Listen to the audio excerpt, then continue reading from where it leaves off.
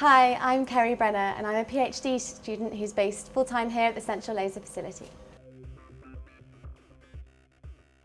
Okay, the, I guess the best things are, is, are being exposed to such ground frontier science, being involved with teams from all over the world who come here to use the laser systems that we have here at the CLF, being involved hands-on in the nuts and bolts of ground research is really exciting um, and, and being allowed to play around in, in kind of these research areas.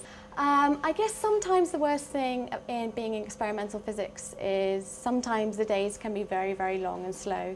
Um, you're having to rely on things working so well um, and sometimes they don't, especially when you're, you're dealing with mirrors and alignment and it just takes one little nudge and you have to start again for another five hours. So you need a lot of patience in this job. I guess as a plasma scientist, I would have to say probably Mr. Maxwell. Uh, his Maxwell's equations um, govern a lot of the interactions of the electro electromagnetic um, interactions that happen in plasma physics. So his ideas and his equations are pretty much the grounding in, in plasma physics as we know today.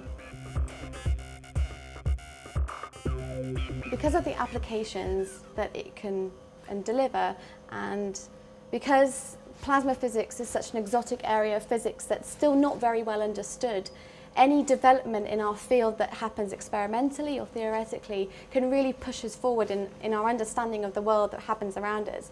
Plasmas are everywhere. They're in space, so we, if we can understand what happens in a controlled atmosphere in, in the laboratory, we can um, relate that to what's happening in the solar system.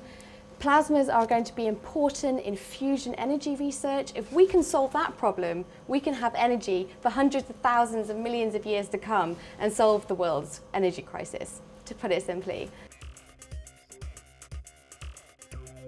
Try and have a broad opening for science. So when you're choosing A-levels, um, all of the core sciences Physics, chemistry and biology, they all have experimental elements to them and theoretical elements to them. And by taking those A-levels, or even just one of them, you'll realise what kind of scientist you want to become or what really floats, you know, what really ticks your boxes. Um, and be open to science degrees. I think that's, that's where you'll get your first opening to experimental physics and what it means to be a scientist.